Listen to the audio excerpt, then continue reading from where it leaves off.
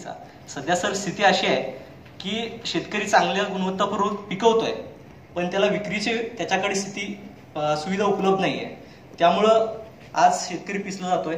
जर सांगली जिल्ह्यात ह्या वर्षीची स्थिती पाहिली तर शंभर कोटीच्या जवळपास ही त्यांची फसवणूक द्राक्ष व्यापाऱ्यांकडून झालेली आहे. जर ही मार्केटिंगची व्यवस्था जर शेतकऱ्यांना उपलब्ध झाली तर निश्चित प्रमाणे ही फसवणूक टळली जाणार आहे.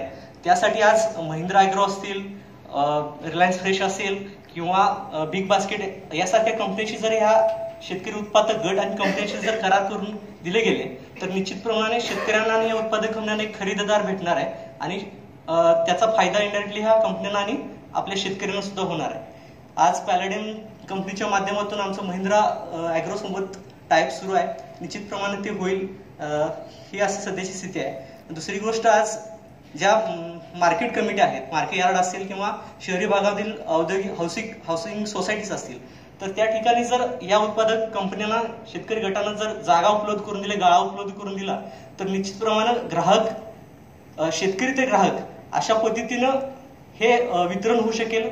या कंपन्यांना सुद्धा एक हक्काची बाजारपेठ उपलब्ध त्या ठिकाणी होऊ शकेल. अशा पद्धतीचं आपली मागणी राहील. धन्यवाद. या गोष्टीचा आपण गांभीर्याने विचार करावा आणि या सगळ्या शेतकऱ्यांच्या वतीनं मी या ठिकाणी आपल्याला तशा पद्धतीची विनंती करतो. धन्यवाद अभिजित.